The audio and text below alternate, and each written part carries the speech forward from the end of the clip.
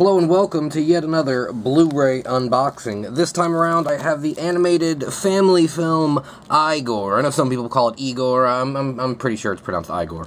Uh, the film on the back, it lists in the lead, uh, the, the top two roles, which I realize later is just, uh, it's alphabetized, but Listed first is Steve Buscemi, second, John Cleese. That right there, 100% is what sold me on the film, as I thought one of them, at least, would be the titular Igor. No, no, no, it's fucking John Cusack. What are you, what are you gonna do? Jesus Christ.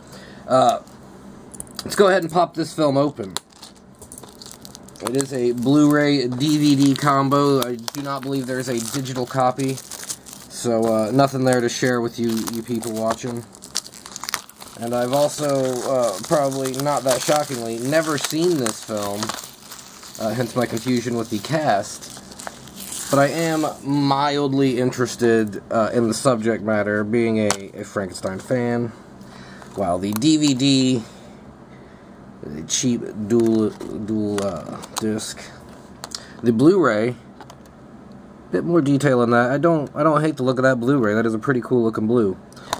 For special features, you get a commentary that I will never listen to, an opening scene, and some concept art. So really, uh, you get no special features. The film itself, where is runtime?